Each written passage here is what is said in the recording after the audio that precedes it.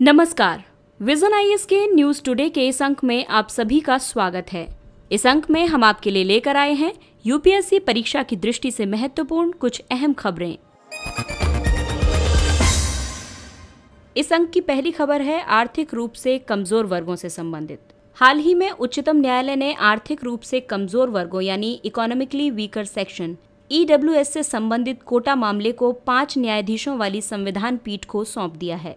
दरअसल उच्चतम न्यायालय में कुछ याचिकाकर्ताओं ने 103वां संशोधन संविधान अधिनियम 2019 को चुनौती दी है। याचिकाकर्ताओं ने ये तर्क प्रस्तुत किया है कि उपलब्ध सीटों का कोई भी हिस्सा केवल आर्थिक मानदंड के आधार पर ही आरक्षित नहीं किया जा सकता है। आपको बता दें कि 103वें संविधान संशोधन अधिनियम 2019 के द्वारा संविधान के अनुच्छेद 15 और 16 में संशोधन किया गया है। ये संसद और सभी राज्य विधान मंडलों को निजी और सार्वजनिक शिक्षण संस्थानों तथा सार्वजनिक सेवाओं में एससी या एसटी और ओबीसी के लिए मौजूदा आरक्षण के अलावा आर्थिक रूप से कमज़ोर वर्गों के लिए भी 10 प्रतिशत आरक्षण प्रदान करने में सक्षम करता है। याचिकाकर्ताओं का ये भी तर्क है कि ये संशोधन अधिनियम इंदिरा साहनी वाद में उच्चतम न्यायालय द्वारा निर्धारित की गई 50 प्रतिशत की अधिकतम सीमा का अतिक्रमण करता है। उच्चतम न्यायालय ने इस मामले को संविधान पीठ को प्रेषित किया है, क्योंकि ये माना जा रहा है कि याचिकाकर्ताओं ने विधि का एक सारभूत प्रश्न प्रस्तुत किया है कि क्या ये विवादित संशोधन अधिनियम संविधान के मूल ढांचे का उल्लंघन करता है या नहीं? दरअसल, मूल ढांचे का सिद्धांत वर्ष 1973 में केशवानंद भारती वाद में प्रतिपादित किया गया था। मूल ढांचे के सिद्धांत के तहत उच्चतम न्यायालय ने ये निर्धारित किया है कि संविधान की कुछ आधारभूत विशेषताएँ हैं, जिन्हें संशोधन के माध्यम से परिवर्तित नहीं किया जा सकता। एक संविधान पीठ में कम से कम पाँच या अधिकतम तेरह न्यायाधीश होते हैं, जिसे किसी वाद में संविधान की व्याख्या के संबंध में विधि के सारभूत प्रश्न पर निर्णय लेने के लिए गठित किया जाता है। अगली खबर बैंकिंग क्षेत्र से है। भारतीय रिज़र्व बैंक बड़े कॉरपोरेट्स को बैंक लाइसेंस प्रदान नहीं करने के अपने रुख पर कायम है। भारत सरकार नई निजीकरण नीति की योजना बना रही है। इसी संदर्भ में आरबीआई ने सरकार को ये सूचित किया है कि वो बड़े कॉरपोरेट्स को बैंकों की स्थापना करने से प्रतिबंधित करने के अपने मत पर कायम है। दरअसल, आरबीआई के अनुसार धन के प्रवाह और इसके अंतिम उपयोग की निगरानी करना चुनौतीपूर्ण हो सकता है। इस प्रकार गठित की गई कंपनियाँ कॉरपोरेट गवर्नेंस ढांचे की उपेक्षा करने के तरीके खोज सकती हैं। जिसके कारण बैंकिंग क्षेत्र की वित्तीय स्थिरता के समक्ष जोखिम उत्पन्न हो सकता है।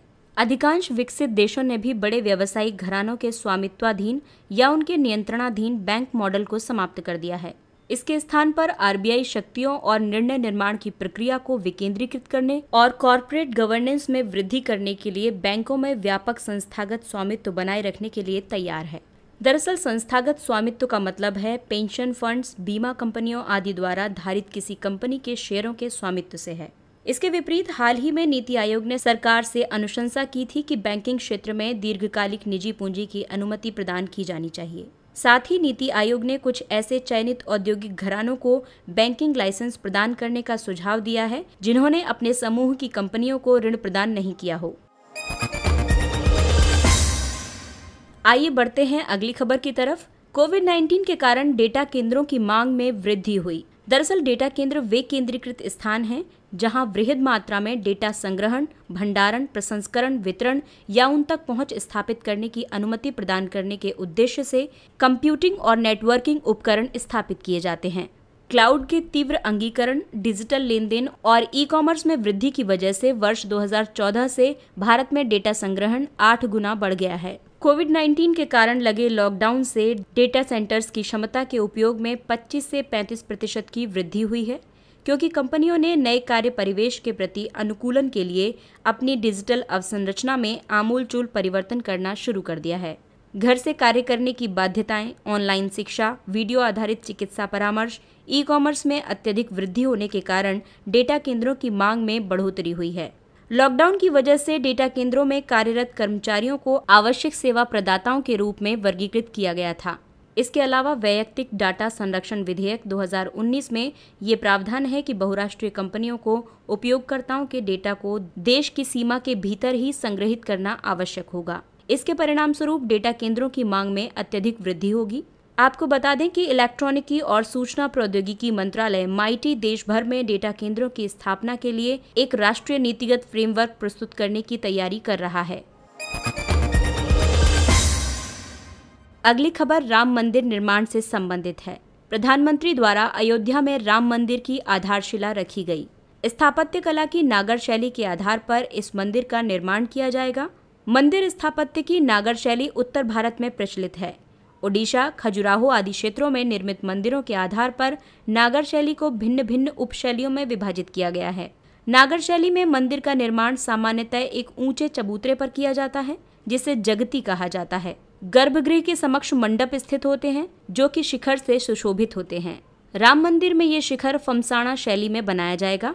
इसके बाद सबसे ऊँचा शिखर गर्भगृह के ऊपर स्थित होता है, जैसे खजुराहो मंदिर समूह और मोढेरा के सूर्य मंदिर आदि में है। दक्षिण भारत मंदिरों के विपरीत नागर शैली के मंदिरों में प्रवेश द्वार यानी गोपुरम नहीं होता है। नागर शैली के मंदिर परिसरों में जलाशय नहीं होते हैं और गर्भगृह के चारों ओर छत से ढका प्रदक्षिणा पथ होता है। आइए अब जानते हैं नागर शैली की वास्तुकला के तत्व। सबसे पहले बात करते हैं गर्भगृह की। ये एक लघु कक्ष होता है जहाँ मंदिर के प्रमुख देवी या देवता को प्रतिष्ठापित किया जाता है। इसके बाद बारी आती है मंडप की। ये मंदिर के प्रवेश द्वार के निकट एक बरामदा या सभागार होता है, जिसमें बड़ी संख्या में लोग एकत्रित हो सकते हैं। इसके पश्चात शिखर की बात करते हैं। शिखर एक पर्वतनुमा संरचना है, जो पिरामिड से लेकर वक्राकार आदि विभिन्न आकार का हो सकता है। अंत में बात करते हैं वाहन, यानी मुख्य देवता का आसन, जिसे आमतौर पर गर्भगृह से दृष्टि रेखीय स्थिति में रखा जाता है। अगली खबर सौर परियोजनाओं के लिए भूमि अधिग्रहण के मुद्दे से संबंधित है। सौर परियोजनाओं के लिए भूमि अधिग्रहण एक प्रमुख मुद्दा बना हुआ है। उद्योग जगत ने विद्युत परियोजनाओं में निवेश को आकर्षित करने के लिए भूमि उपलब्ध कराने और सरकारी अनुमोदन प्रणाली को सरल बनाने के लिए निर्णय प्रक्रिया को तीव्र करने के लिए आग्रह किया है। इसमें कई मुद्दे विद्यमान हैं। जैसे अंतर्राज्यीय पारेषण प्रणाली यानी इंटर स्टेट ट्रांसमिशन सिस्टम के लिए नवीन और नवीकरणीय ऊर्जा मंत्रालय की सौर पार्क योजना के तहत सरकारी भूमि के आवंटन या पंजीकरण में विलंब। अधिकांश राज्यों ने भूमि पंजीकरण के लिए स्टैंप शुल्क में छूट प्रदान नहीं की है। भूमि के गैर कृषि कार्यों हेतु रूपांतरण के लिए उच्च शुल्क और विविध अनुमतियों की ज़रूरत होती है। भूमि रिकॉर्ड अभी तक पूरी तरह डिजिटल रूप में उपलब्ध नहीं है। इसके अलावा सटीक भूमि समायोजन, यानी लैंड कोऑर्डिनेट्स को अंतिम रूप प्रदान करने और वास्तविक स्वामियों की पहचान करने में कई महीने लग जाते हैं। एक अन्य मुद्दा स्वीकृति या मंजूरी प्राप्त करने से भी जुड़ा है, क्योंकि विद्युत संवर्ती सूची का एक विषय है। इसलिए संभावित निवेशकों के साथ साथ डेवलपर्स को भी मंजूरी प्राप्त करने के लिए विभिन्न सरकारी विभागों के चक्कर लगाने पड़ते हैं। वर्ष 2019 में भूमि रिक्तीकरण से संबंधित समस्या को दूर करने के लिए सोलर पार्क्स और अल्ट्रा मेगा सोलर पार्क विकसित कार्यक्रम को संशोधित किया गया था।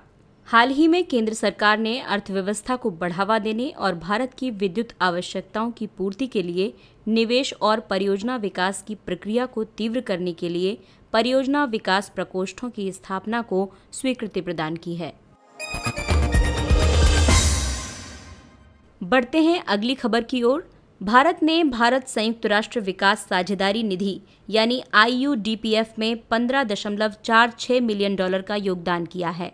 इस अंशदान में 6 मिलियन डॉलर समग्र निधि, यानी ओवरऑल फंड के रूप में है, जिसे प्राप्त करने के लिए सभी विकासशील देश पात्र हैं। शेष 9.6 मिलियन डॉलर राष्ट्रमंडल देशों के लिए हैं। ये सभी सतत विकास लक्ष्यों को प्राप्त करने में विकासशील राष्ट्रों को सहायता पहुँचाने की भारत की प्रतिबद्धता को जताता है। आईयूडीपीएफ को वर्ष 2017 में स्थापित किया गया था। इसका समर्थन और नेतृत्व भारत द्वारा किया जाता है। इसे दक्षिण दक्षिण सहयोग के लिए संयुक्त राष्ट्र कार्यालय द्वारा प्रबंधित किया जाता है। संयुक्त राष्ट्र की संस्थाओं के सहयोग से इसे कार्यान्वित किया जाता है। वैश्विक स्तर पर और संयुक्त राष्ट्र तंत्र के भीतर दक्षिण दक्षिण और त्रिकोणीय सहयोग को बढ़ावा देने, इसे समन्वित करने और समर्थन प्रदान करने के लिए संयुक्त राष्ट्र महासभा ने वर्ष 1974 में यूएनओएसएससी की स्थापना की थी। वर्ष 1974 से ही संयुक्त राष्ट्र विकास कार्यक्रम द्वारा यूएनओएसएससी की मेजबानी की जा रही है। दक्षिण दक्षिण सहयोग दरअसल राजनीतिक, आर्थिक, सामाजिक, सांस्कृतिक, पर्यावरण और तकनीकी क्षेत्रों में विकासशील देशों के बीच आपसी सहयोग का एक व्यापक ढांचा है। इसका उद्देश्य विकासशील देशों की रचनात्मक क्षमता को बढ़ाकर उनकी आत्मनिर्भरता में वृद्धि करना है, ताकि वे अपनी विकास संबंधित समस्याओं का समाधान प्राप्त कर सकें। त्रिकोणीय सहयोग यानी ट्रायंगुलर कॉपरेशन के तहत पारंपरिक दाता देश और बहुपक्षीय संगठन, वित्तीय प्रशिक्षण प्रबंधन और तकनीकी प्रणालियों आदि के प्रावधानों के माध्यम से दक्षिण दक्षिण पहल को साकार करते हैं। आइए अब जानते हैं कुछ अन्य महत्वपूर्ण खबरों के बारे में। मिजोरम से विस्थापित ब्रू समुदाय ने पुनर्वास स्थलों को अस्वीकृत कर दिया है। इन पुनर्वास स्थलों का प्रस्ताव संयुक्त आंदोलन समिति जॉइंट मूवमेंट कमेटी ने दिया था। ये समिति त्रिपुरा में गैर ब्रू समुदाय का एक समग्र समूह है। ब्रू समुदाय को रियांग के नाम से भी जाना जाता है। इस समुदाय के लोग मिजोरम, त्रिपुरा और दक्षिणी असम के कुछ भागों में निवास करते हैं। वर्ष उन्नीस सौ सतानवे में मिजो जनजातियों के साथ निर्जातीय संघर्ष के बाद ब्रू समुदाय के अधिकांश लोग मिजोरम से पलायन कर गए थे। वर्तमान समय में ये त्रिपुरा में शरणार्थी शिविरों में रह रहे हैं। पिछले 23 वर्षों से विद्यमान ब्रू रियांग शरणार्थी संकट को समाप्त करने के लिए इस वर्ष जनवरी माह में ब्रू समुदाय, केंद्र सरकार और मिजोरम और त्रिपुरा सरकारों के बीच एक चतुष्पक्षीय समझौते, यानी क्वाडिलेटरल एग्रीमेंट पर हस्ताक्षर किए गए थे। शेड स्मार्ट और रेडियंट कूलिंग प्रौद्योगिकियाँ। ये दो प्रौद्योगिकियाँ इमारतों में ऊर्जा दक्ष कूलिंग यानी शीतलन को बढ़ावा देती है। शेड स्मार्ट एक बाह्य शेडिंग यानी छाया प्रदाता प्रणाली है। इसे habitat model for efficiency and comfort परियोजना के तहत आवासीय और वाणिज्यिक भवनों में खिड़कियों के लिए एक नए लागत प्रभावी समाधान के रूप में विकसित किया गया है। इसे विज्ञान एवं प्रौद्योगिकी विभाग के साथ साझेदारी में the energy and resource institute द्वारा विकसित किया गया है। रेडियंट कूलिंग में कूलिंग को आम संवहनी एयर कंडीशनिंग के बजाय रेडियंट हीट ट्रांसफ़र के माध्यम से प्राप्त किया जाता है। ये एक दक्ष तकनीक है और बेहतर गुणवत्ता प्रदान करती है। विश्व के प्रथम परमाणु हमले की पिचहत्तरवीं वर्षगांठ। द्वितीय विश्व युद्ध के दौरान संयुक्त राज्य अमेरिका ने 6 अगस्त 1945 को जापान के हिरोशिमा में लिटिल बॉय नामक अपना प्रथम परमाणु बम गिराया था। इससे हिरोशिमा शहर का अधिकांश हिस्सा ध्वस्त हो गया था और लगभग एक लाख चालीस हज़ार लोगों की मृत्यु हो गई थी। ये अनुमान व्यक्त किया गया था कि इस परमाणु बम की विस्फोटक शक्ति बीस हज़ार टन ट्राई नाइट्रोटोलोइन के बराबर थी। अमेरिका ने 9 अगस्त 1945 को जापान के ही नागासाकी पर फैटमैन नामक एक दूसरा परमाणु बम गिराया था। पोक्कली चावल ये अपनी लवणीय जल प्रतिरोध क्षमता के लिए जाना जाता है। केरल के अलापुझा, एर्नाकुलम और त्रिशूर जैसे तटीय जिलों में इसकी खेती की जाती है। इसे भौगोलिक संकेतक यानी जीआई टैग प्राप्त है। व्यक्तिला ग्यारह पोक्कली चावल की किस्मों में से एक है। इसे प्रायोगिक आधार पर सुंदरवन के धान खेतों में उगाया जा रहा है। सुंदरवन में अम्फन चक्रवात के बाद लगभग 80 प्रतिशत धान के खेतों में लवणीय जल के प्रवेश की समस्या का सामना किया जा रहा है। यदि यहाँ पर पोकली का प्रयोग सफल रहता है तो ये किसानों के लिए काफ़ी लाभप्रद हो सकता है। इसके साथ ही ये अंक समाप्त होता है। अगले अंक में फिर मुलाकात होगी। कुछ अन्य महत्वपूर्ण खबरों के साथ, तब तक के लिए नमस्कार।